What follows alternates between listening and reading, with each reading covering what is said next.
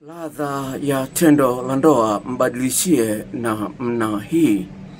Msikilizaji, nimekuletea mada hii baada ya kukutana na kesi mbalimbali, ambapo nakuta mwanaume anasema kwamba mwanamke hana hamu na mimi, au mwanamke anasema sina hamu na mume wangu, au mwanaume anasema sina hamu na mke wangu. Yaani nashangaa kijana ambaye namzidi umri kwa zaidi ya miaka ishirini, kijana wa kiume handsome kavaa kofia yake nzuri sana, ukimwona anapendeza sana, anavutia sana, lakini anakwambia naweza nikapita mwezi mzima sijafanya tendo la ndoa na mke wangu, mwezi mzima.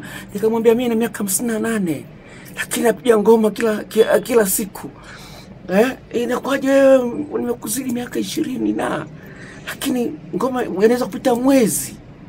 Asema dokta, ndivyo hali imenikuta. Hasali kama hii inatisha, na na tangazo mwishoni mwa klipu hii haitakuwa ndefu, ambalo linaonyesha mabadiliko katika ofisi yangu hii na jinsi gani natoa huduma. Kwa hiyo usikose tangazo hilo, ni muhimu sana, kwa sababu nimekuwa na kesi nyingine ambayo of course nimeshaisimulia kwenye, kwenye, kwenye video nyingine. Napenda kuambia hivi, inasikitisha sana kwa mwanaume ambaye ashatembea na wanawake wawili au watatu, au mwanamke ashatembea na wanaume wawili au watatu, anaona mwanaume alinaye sasa hivi ni tofauti sawa, ni tofauti kabisa. Yani kama mimi mwanaume, nizungumze kwa upande wangu mimi mwanaume, sawa, naweza nikanyonywa chuchu zangu za, chuchu zangu hizi ambao nyinyi ni matiti na mwana- mwana- mwanamke. Mwanamke mmoja akaninyonya nikasikia raha kweli, lakini mwanamke mwingine unaona kawaida tu, hamna kitu.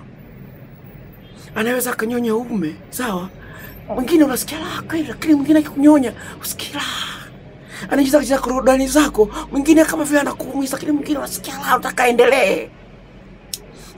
Tofauti kama hizi zipo, na mada hii vile vile imechangiwa na video ambayo nilikuwa naiandaa nilikuwa nimesahau flash ambayo nilikuwa nimeshaziandaa, nyingine nimesahau nyumbani, nikawa naandaa nyingine, kutana na video moja ambayo ni nzuri sana.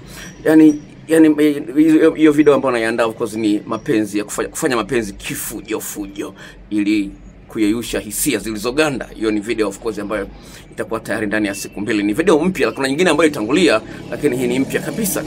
Unamuona mwanamke anavyochezea ume au tofauti uliopo yani anachezea ume alafu anaupiga piga makofi hivi, anachezea ume alafu ana anaugonga gonga kwa hi- hi- hivi. Unaweza kuona sawa, anapokuwa anaulamba uume anaulamba kwa staili nyingine. Mwingine dada mwingine akati ananyonya ume ananyonya alafu anatoa upate hewa kidogo, alafu unanyonya. Kuna utofauti wake, unatibua hisia tofauti. Haya ni mambo ambayo unaweza kuona. Lingine ambalo lipo kabla sijaliacha kabla sijalisahau hili sawa, yani mwanaume amemkalia juu mwanamke hivi sawa, lakini yuko yuko katikati ya mapaja sawa, mwanaume yuko katikati ya mapaja, lakini huku anajichezesha chezesha. Yani ana, yani, yani, ana, yani it's, so beautiful sawa. Lengo ni kutengeneza utofauti, kwa sababu mpenzi wako akiboroka na wewe atachepuka na akichepuka akakutana na vitu vitamu huko atakusahau wewe na anakuwa mkatili kwako. Unashangaa kwa nini?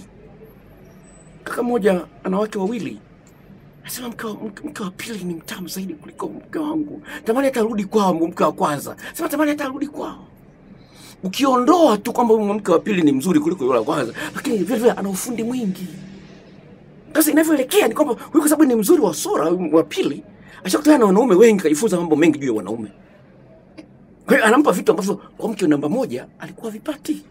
Na kesi kutoka Zanzibar ya mwanaume ambaye ame, ame, ameoa hivi karibuni mke wa pili, lakini aki, a, a, a, alikuwa amelala kwa yule mke wa, wa, wa, wa, wa, pili, lakini anakuja kwanza kwa, anakuja yani akija kwa huyu mwanaume mwanamke mwanaume wake wa- mwanamke wake wa kwanza, yani kama vile hajafanya mapenzi kule, kisa amekutana na video clips ambazo nimemtumia huyu dada kutoka Zanzibar. Sawa, alishajua kwamba hao watu wana mahusiano, ndio ilikuwa kesi ya kuni- kuniita mimi.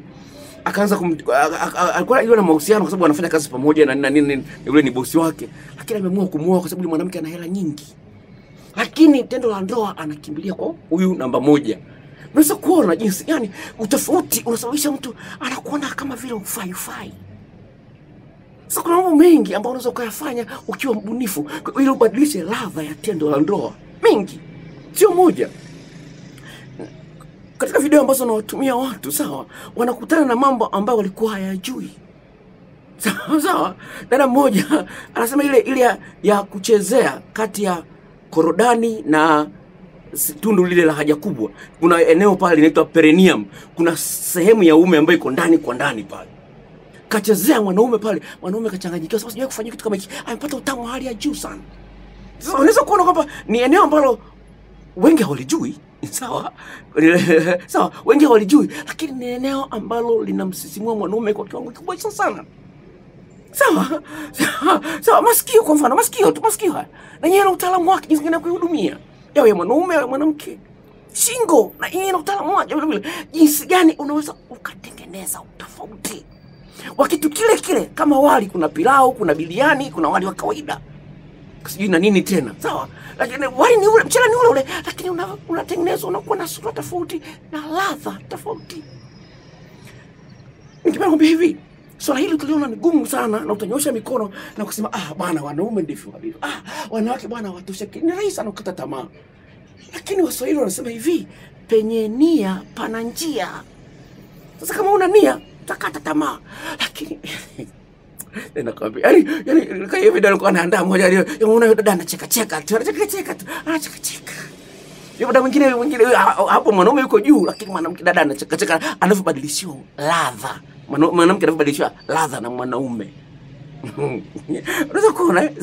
Nyingine ni dada anayenyonya uume sawa, anavyombadilishia ladha mwanaume mpaka mwanaume anachanganyikiwa mikono, ajui kinachofuata ni nini. Sasa vitu kama hivyo ni vitu ambavyo vinawezekana kwako pia. Kama sikati tamaa, tuendelee kuwasiliana sawa. Video hizo unaviuza kwa gharama shilingi elfu kumi tu. Namba zangu za simu ni zifuatazo. Kama hujajisajili sawa. Okay, tangazo nilikuwa nimesahau. Sawa, tangazo. Tangazo kuanzia leo, sawa. Kuanzia leo tarehe sita mwezi wa saba sitatoa ushauri kwa mtu ambaye anachepusha mke wa mtu au anachepusha mume wa mtu. Kwa hiyo usinitafute kwa sababu umekosana na mchepuko, eza mume wa mtu au mke wa mtu. Usinitafute, sitatoa ushauri katika hilo eneo kabisa. Nimeona uh, kuna madhara yake ambayo of course yametokea hivi karibuni ya mtu ambaye anamchepusha mume wa mtu sawa, alafu akaja kwangu kwa ushauri, alafu ikatokea issue fulani ambayo of course ni, very, very complex sawa. Kwa hiyo sitaki sawa, sitaki kuja kuitwa polisi mimi kwa bwana, elewa vipi sasa? Ah, sitaki sawa. Naomba tafadhali, kama unachepusha mume wa mtu, mke wa mtu, usinitafute. Hayo ya haya nihusu nimeokoka sawa, nimeamua kushirikiana na wazinzi sawa. Hiyo inaitwa ni liability. I don't want that sawa. Anyway, kama hujajisajili sawa, kuna kibox chekundu pale kimeandikwa subscribe kwa maandishi meupe, bofya uweze kuisajili. Nitakapoweka video mpya pale, taarifa haraka sana. And God bless you, bye.